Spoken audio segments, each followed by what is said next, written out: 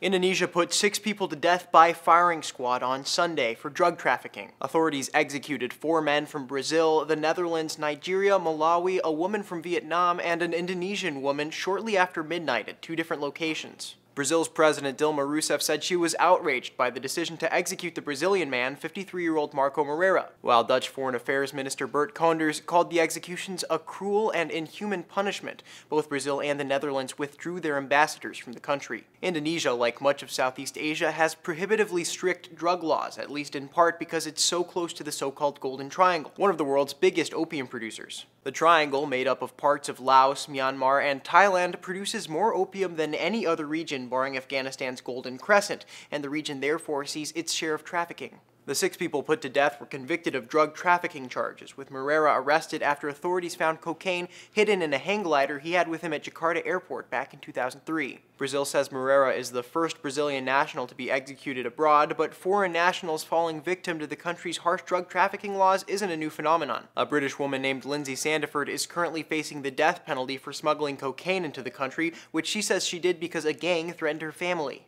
Sandiford has exhausted the country's appeals process, and Indonesia's President Joko Widodo has pledged to be tougher on drug trafficking, so a pardon doesn't look likely. Still, the executions don't come without a cost to Indonesia. The country risks alienating other countries as the Brazilian government warned Moreira's execution would damage relations between the two countries. For Newsy, I'm Sebastian Martinez.